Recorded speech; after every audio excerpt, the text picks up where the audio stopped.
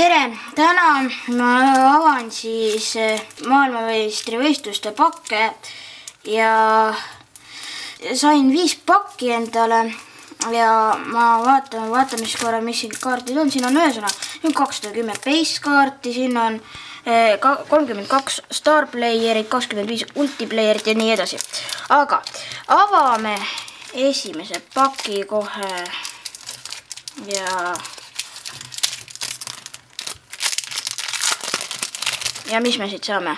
David Silva, siis me saame Exuel Garay, Mon Müller, Nani, siis Korea väravat keegi ja siis veel James Rodriguez, One to Watch.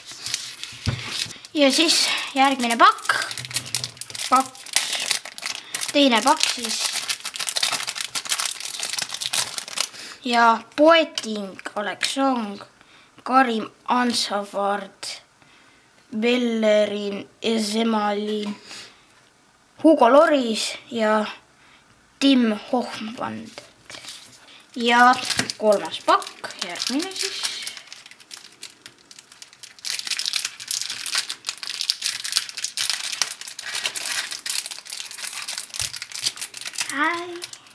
nii. Ja saime lahti lõpuks natuke läks aega võib-olla, aga ära tee välja.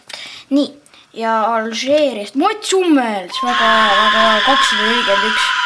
Ehm, Kanti Kasarai ja siis veel Koscielny, Kevin Stockman ja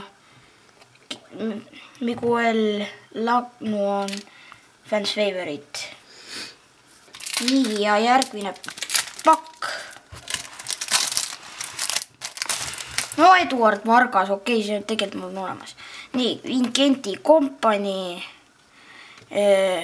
nii, mi-, mi-, Licton Paines, Vale Punain, Emual Emenike. Ja Jeremi Joones. Nii ja viimane pakk, palun too meile midagi head, loodame, et see tuleb midagi head. Ja Luis Peira eh,, Amsir Ormer eh,, Joose Tšõus, Martin Karkes eh,, Patrick Erva, Evra eh,, Snyder ja Kökkan Inler. okei okay., aga sellised pakid saime siis täna, noh, kuigi siin nüüd mitte nüüd nii imelisi asju, aga ikkagi päris normaalne. ja ühesõnaga saime siis siin praegu kõige parem oli meil Mats Hummels.